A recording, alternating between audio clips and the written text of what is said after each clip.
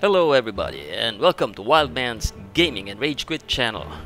What's this again? We're playing the Operational Art of War Part 4 again, Arracourt, 1944 again. I, I have no objection to playing Operational Art of War 4, I mean it's a great game, I love that game. But why are we playing Arracourt 1944 again? We've revisited it already.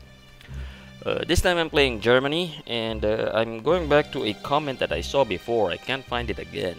But somebody gave a comment about the Germans being able to uh, would that the Germans would have been able to uh, take Arracourt uh, had it not been for something or other. I don't know what it was.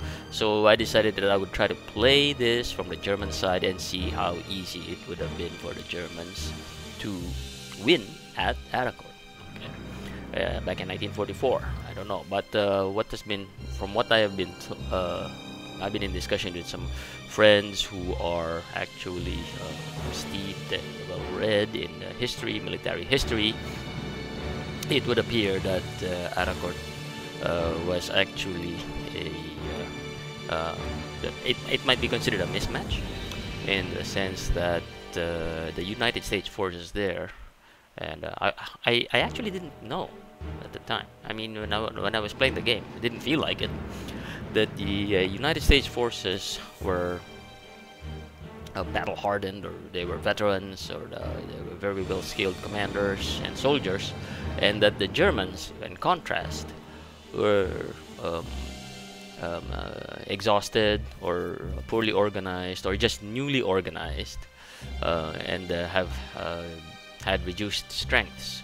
Some of them might have been units formations and divisions uh, more in name than in strength or something like that or so it's been said.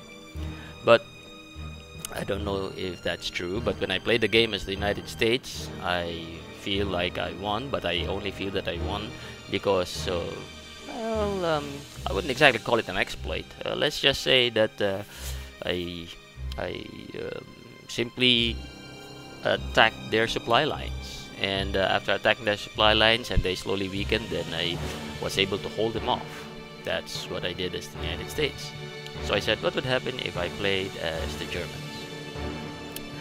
I tried playing the German side here and I'm wondering why why I'm having such a difficult time. It, it didn't feel like the computer was having um, this hard a time uh, playing you know uh, when it when, when I was playing against the US but uh, if I felt during that second Arracourt game that uh, the German computer was aggressive, I was uh, eye-poppingly surprised when I saw um, how uh, the uh, computer played the United States in this game.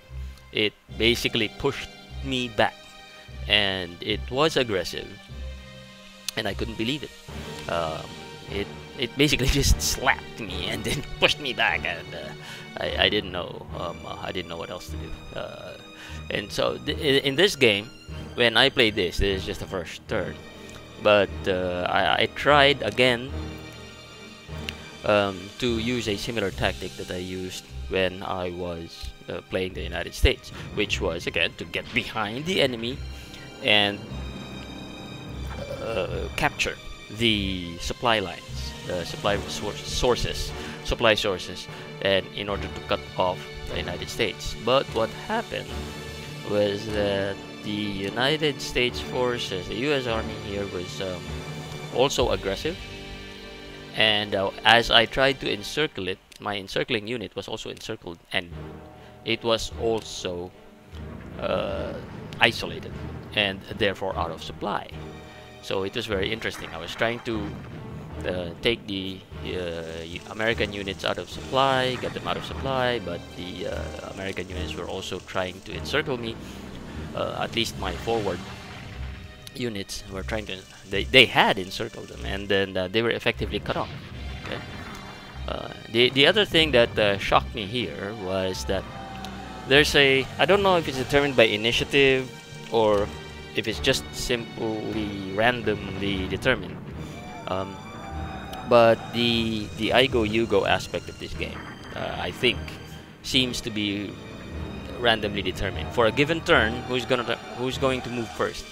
Yeah, U.S. or Germany? Uh, the U.S. player or the German player? Computer or human player? It seems to be randomly determined. So it was there. It was actually possible um, for me to for the U.S. player to to move uh, back to back, move twice? Or I, I felt like I skipped a turn. I'll have to take a look at that.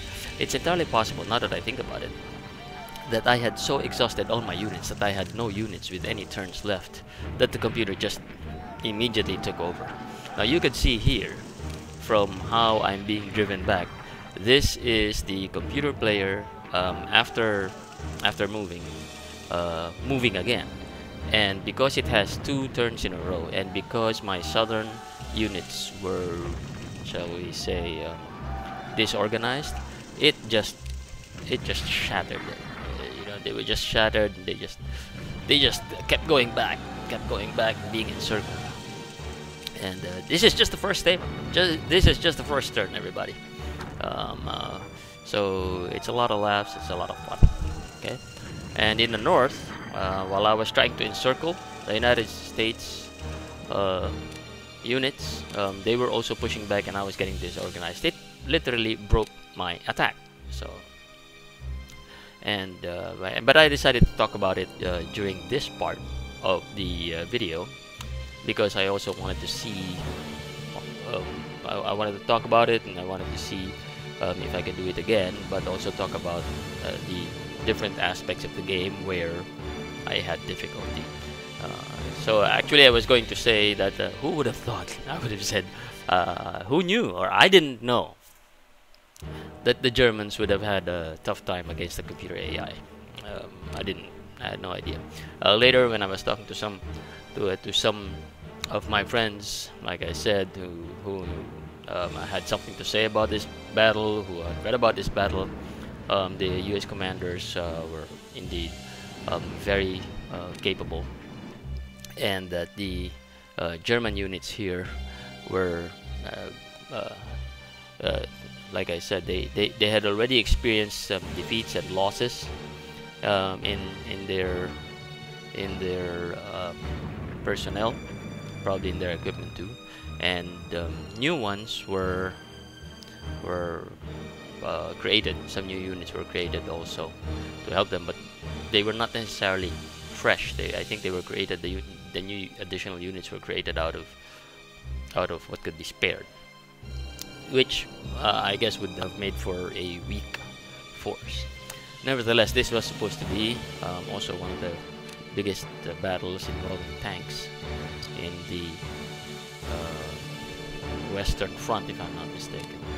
Uh, gee, I should have read uh, some more uh, before before fighting this game. Um, so a lot. Uh, uh, I I guess I should take a look at that. But but you can see here what I'm doing already here on the left. Uh, over here in the south, yeah, I'm getting badly beaten. But what I'm doing is on the left side, you can see my, um, uh, I think it's mechanized infantry. Uh, the one with the, the, strength 22 and the defense 24. Pretty strong, but it's way behind enemy lines and it's going to capture all of those all of those uh, supply uh, sources. There's two of them. Uh, the interesting thing that I wanted to find out is what would happen. Would the United States forces stop in their tracks simply for want of fuel? When I searched, uh, I've been searching um, the system uh, for, for, for this game, and uh, I think it's by Norm Koger and uh, when I was uh, looking it up I think I might have read somewhere that uh, the supply doesn't it's not it's not like a toggle. Like if you're out of supply suddenly you, your your unit becomes totally incapable. Um, I think what uh, what is being simulated here is that when a unit is out of supply it, it, it starts to conserve uh, resources so it doesn't automatically halt it can still move uh, maybe it might be slower um, it might not be effective as effective in in combat um, probably or it, but basically they're making every every every bullet count, every drop of fuel count. You know, so it doesn't automatically uh, shut down just because it's out of supply. What it means is that um, it starts to conserve its resources. Okay. Uh, and uh, that's why, um, even though I have captured uh, both supply sources here on the left, you'll notice two things. Um, the mechanized infantry on the left, earlier it was 20 strength 22, defense 24, now it's about two, uh, it's less than 20. Um, strength is now less than 20, defense is now less than 20. It's significant. It's now 14, 16. Look at that. Uh, I would say it's still stronger than most, but significantly, significantly weaker.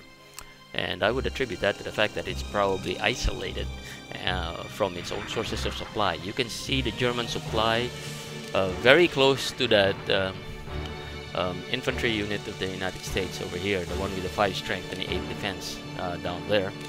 Uh, and um, uh, actually, it would it would probably be the easiest thing for the computer to simply move two hexes and capture that. Uh, there is another supply source to the uh, to the right of the on the right map edge. Um, I suppose you could call it. I, I, don't have a compass here, and I, I don't know if that's really the eastern map uh, edge, but yeah, it's on the right map edge. There's another German supply source there, so it's entirely possible to still get supply from that area. However, here in this case, my uh, my uh, mechanized infantry behind enemy lines uh, is, I believe, out of supply. We'll find out from that. Let me see. we'll know more about its supply state and readiness level um, from its uh, from the color, I believe, of the upper right square um, the corner. So you'll notice here that this um, unit that I'm trying to move, which has uh, uh, uh, which is a reconnaissance unit, um, has an orange um, colored square on the upper right corner. HQ there, uh, kind of, um, uh, I think a pale green, I think. Um, that that gives you uh, an, an idea of their level of readiness and their supply level what about the the enemy forces? I don't think I can I can see it um, because of the fog of war. Um, I think so. You, you, I don't really get a good idea of their supply level.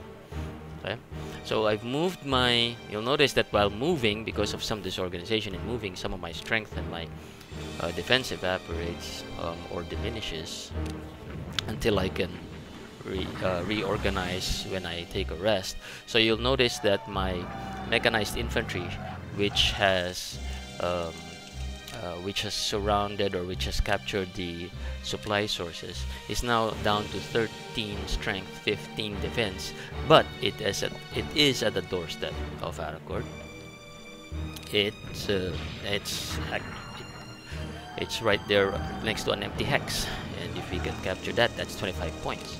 However our problem is uh, for the sake of getting this um, location and this victory point area, we've practically given up um, uh, the the uh, victory point that uh, is it that victory point that's worth uh, 25 points after Bourdelais Mézières. Uh, I'm probably saying it wrong. Yeah. Uh, so um, at what cost? I don't think it was it was at the it was I don't think it was worth it because uh, in, in in in this game um, it looks like um, uh, it looks it started to look doubtful that uh, I was going to win. Um, or, or rather I was still hoping against hope that I would win. My, my primary hope there was that the lack of supply of the US units would severely cripple them and I would just walk around and kick them over. It's that's not exactly how it happened. It's not exactly how it happened uh, but uh, let's see. Why don't we uh, move this forward a little bit more? And let's see what how far this goes. So over here you'll notice that hey um, I'm still in some kind of supply and I have a choice now. With now that my given my replenishment it's I'm now back to strength 20 and defense 22 what am I going to do? Am I going to attack that uh, self-propelled a gun there? Or should I go ahead and take Arracourt and then just hunker down? That's something that I was thinking about. In the meantime, the rest of the units, um, I will send them.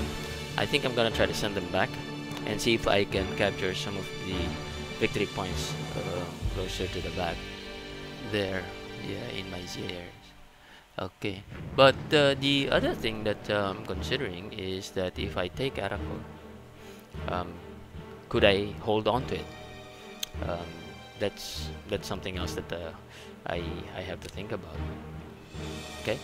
And uh, meanwhile over here uh, down uh, south at Lagarde uh, I, I think that um, I I'm, I'm hanging by a thread. Um, and um, I'm also here with by the by uh, I think I'm on a river terrain as well so and I think that will also put me at a disadvantage. The other things that uh, I've got going against me is that the the US forces um, are actually uh, benefiting from uh, coverage of their artillery and uh, air uh, their air power. So um, I don't have uh, much air coverage. I, they have air superiority so and I think it shows and that's why the Germans uh, are having so much difficulty uh, very interesting here that there's an HQ unit here but I think what I'll really try to do is firm up my hold in Arracourt because I think I feel that that's the most important thing um, it is I suppose, uh, point-based, and it's a game. In real life, I don't know if this is what uh, an actual commander would do, um, uh, apart from from the game. I mean, you're you're a commander, you're forward, you reach your objective, but you're surrounded. How do you feel about that? Uh, so, but uh, this is a game, and uh, we will see how how it gets implemented. Now, another thing about this game, uh, about this scenario, it's actually very, it's one of the shortest and supposed to be one of the simplest. Uh, it's only got about 8 turns, but in this uh, game and the way this game works is that when you reach the end of scenario, uh, it's actually possible that the scenario would be configured not to automatically end uh, at, at that particular turn, uh, at that particular turn. Uh, rather, it might randomly end a bit later. So there's there's that aspect as well. And so uh, here we're only at turn five, and uh, three more turns to go. And I really don't know how long the Germans will be able to hold up all we know is so far we've got 25 points 15 points and another 15 points 30 40 55 points versus 25 30 40 50 50 points that's that's not very much um, it's I, don't I w I'm not even sure if uh, the game would consider this a, a a draw just because we have equal because just because we have equal um, uh, victory points. Um, I believe that when I was uh, looking at the scenario or the updates when you look at the updates at the end of each turn you'll see at the bottom the uh, projected victory points being totaled. I think there's a certain kind of bonus being given being computed with respect to the the the number of unit the number of units that have been killed so I think that um, if more German units are dying then that gives a little plus factor to the victory level of the uh, of the American unit. But we'll see. Um, uh, I wanted to see how far I could push my luck um, by taking over uh, all of those uh, victory points. And uh, my objective there was to take and hold. I mean, these are cities, and maybe I could um, dig in, which is one of the modes that I could do. Uh, and then um, uh, hopefully they'll just take too much time trying to trying to um, uh, kick me out that by the end of turn 8 the game would end and I would have ideally let me see 50 60 70 80 80 victory points 80 points hey how about that huh? uh, how about that I actually thought that I'd have a chance winning doing that so let's see um, how far uh, we could take it let's go and one of the things that I noticed here is that uh, when Oh, okay. I also wanted to know um, what was the supply status. I still don't know how to read a supply status though um, from from that particular perspective uh, because uh, uh, later on I also found out that uh, there was they, they were starting to get supply. The United States was trying to get supply as well. Okay. So you, you could see here that even though I had an armored unit in Mongku and I took Mongkor they, the, the engineers just kicked me out you know. Um, the engineers just kicked me out. And I believe that would have been so uh, I didn't get a chance to uh, take a look, close look at uh, the actual composition of these units that are already being battered and in red. Uh, so it would have been interesting. How did I think about it? Uh, but look at that. Look at the uh, mechanized um, infantry being pushed back right out of Arracourt. See? Um, so it's really bad because even I, I think it is because also of the aside from the fact that it's surrounded, it's flanked, uh, but also the units are combined. You, uh, the the American forces when they when they retook when they took Arracourt again from me, um, uh, they they I noticed that they I think they had um, a reconnaissance unit as well, and I believe that has an impact on the initiative during the actual combat role, or if you could call it the combat role, the combat simulation being done by the game, because I believe um, that um, the reconnaissance unit uh, gives an ability for that particular side to fire first and inflict damage first. So that's something. Okay. In the meantime so we've still got only um, we're back to let me see 25 30 40 50 hey 65 points. Okay we might okay it might be something that.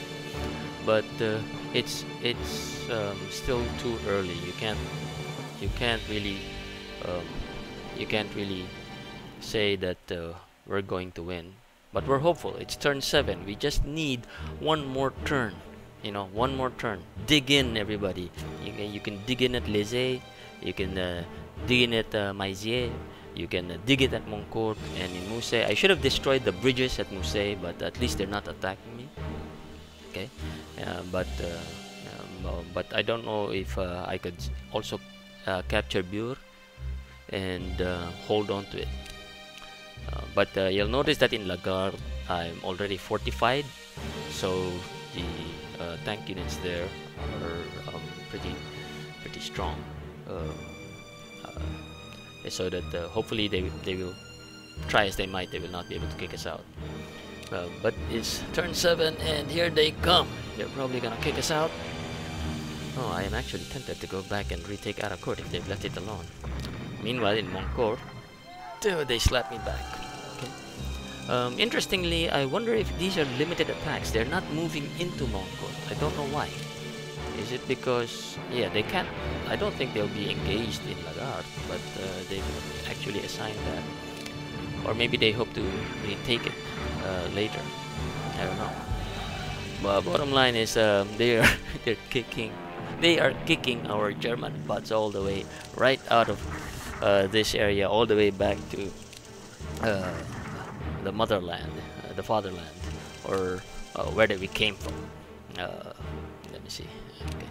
So turn 8, the last turn. How are we doing? Um, I can't move. I wish I could move. I don't know why I got disorganized there. It, but um, it's not like I, suffered an attack. It might be a supply issue because if you notice, um, the uh, the US unit here does not it it covers the supply route from the supply source along this southern area. Another thing that I noticed is if you look at this there's a supply source again uh, coming from uh, west of Arracourt so that's a big advantage for the United States because then that means that they're all back full supply they'll be replenishing their strength and they're going to be kicking us out of um, our victory point areas. See, they're just being, they're just running after us. We're I, ca I could just imagine uh, my soldiers what a disservice I've done to them. um, I could just uh, imagine my soldiers running down the road uh, with um, uh, with the American soldiers running right after them in their tanks, for instance. They evaporated. Look at that. 100% losses. Okay. Okay. So, end of scenario. 1944. U.S. player has achieved a significant victory, and uh, well, uh, what can we say? Uh, we we uh, we lost that time. I'm gonna try to play this again and see if there's a way to win this game. Um, if we lost because of the, shall we say, the superiority of the US units, eh, I wouldn't call it unfair. I mean, if, if that's what the historical setup was, then that's what the, then that's the historical setup. But uh, if, if that's if that's what happened, we'll we'll try it again next time. In the meantime, I hope that uh, you enjoyed watching this little video, and please like and subscribe, and uh, follow us again and tap on the bell icon. And by the way, we have a Patreon page. So go ahead uh, if you'd like us to make more videos, please support this channel. Uh, go ahead to Patreon. And uh, thank you very much, everyone. We hope to see you again next time.